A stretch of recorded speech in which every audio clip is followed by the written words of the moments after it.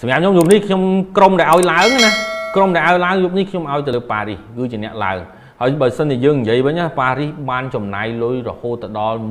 1.4000លានបាទក្នុងការស្វែងរកកីឡាករនិងបើក្លឹបរបស់គាត់ ដើម្បីឲ្យឡើងទៅកាន់វគ្គផ្ដាច់ព្រាត់នៅក្នុងក្របខ័ណ្ឌ UEFA Champions League ហើយបើយើងនិយាយមែនតើប៉ារីសនេះចំណាយលុយតាំងពីឆ្នាំ1000រដូវកាល1995 96មកមកដល់ពេលនេះចំណាយអស់ពាន់លាន ដើម្បីអីមកដល់ថ្ងៃនេះគឺទើបតែបានលេងវគ្គពាក់កណ្ដាលផ្ដាច់ព្រាត់ទេតាំងពីរដូវកាល1995ប្រិមិត្តគិតមើល95បាទ95 2005 2015បាទ25ឆ្នាំហើយដែលប៉ារីសនេះមិនដែលបានលេងក្របបានដែលបានលេងដល់វគ្គពាក់កណ្ដាលផ្ដាច់ព្រាត់ចឹងមានន័យថាគាត់ប្រឹងប្រែងកម្រើមណាស់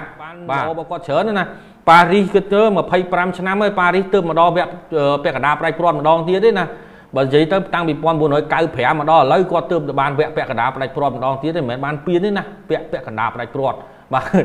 បាទក្រៅពីហ្នឹងគឺធ្លាក់វគ្គ16វគ្គ8 8ធ្លាក់8ធ្លាក់16ធ្លាក់8ធ្លាក់16ធ្លាក់បាទអត់ដែលបានលើងឡើងទៅណាទៅណីទេបាទ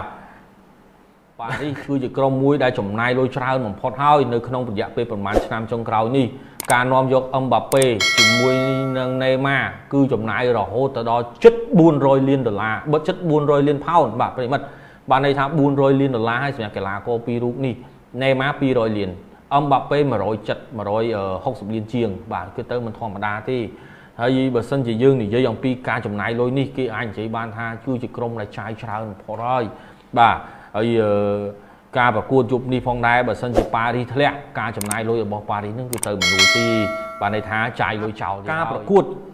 របស់ប៉ារីសវិញបាទយើងត្រឡប់មើលប៉ារីសវិញការប៉ាដែលប៉ារីសឡើងមកកាន់វគ្គនេះគឺមិនធម្មតាទេការប្រកួតជំរុះក្នុងពូ5ប្រកួតឈ្នះ5ស្មើ1បាទនេះតែល្អរបស់គាត់មែនតើបាទប្រកួតក្នុងដីគាត់បាទឈ្នះរៀលម៉ាឌ្រីត3-0បាទមិនធម្មតាទេហើយទៅប្រកួតនៅរៀលម៉ាឌ្រីតវិញគឺផលិតផល2ទល់នឹង2 ចឹងមានន័យថាគាត់ល្អរបស់គាត់មែនតើបាទមិនធម្មតាទេហើយការប្រកួតឡើងមកកាន់វគ្គ16ក្រុមបាទប៉ារីសហ្នឹងគឺទម្លាក់បូរស៊ីដតម៉ាន់នៅក្នុងទឹកដីដតម៉ាន់បាទគាត់ចាញ់ដតម៉ាន់2ទល់នឹង1ក្នុងទឹកដីរបស់គាត់គាត់ឈ្នះដតម៉ាន់2-0បាទហើយអាតាឡង់តាប្រិមិត្តដឹងហើយគឺយកឈ្នះអាតាឡង់តា2ទល់1ហើយសម្រាប់អបអញ្ចឹងយើងអាចនិយាយបានថាប៉ារីសកំពុងតែមានព្រៀបច្រើនបើនិយាយទៅគឺកំពុងមានព្រៀបដោយសារតែទី1ប៉ារីសមុននឹងឡើងមកដល់វគ្គនេះគាត់ធ្វើបានល្អជាងទី2 ប៉ារីសមានធ្លាប់មានជំនួបទម្លាក់ដតម៉ាន់ខណៈពេលដែលដតម៉ាន់នេះបានយកឈ្នះលើ RB Leipzig បាទអញ្ចឹងខ្ញុំប្រៀបធៀបអញ្ចឹង RB Leipzig ចាញ់ដតម៉ាន់ប៉ុន្តែប៉ារីសឈ្នះដតម៉ាន់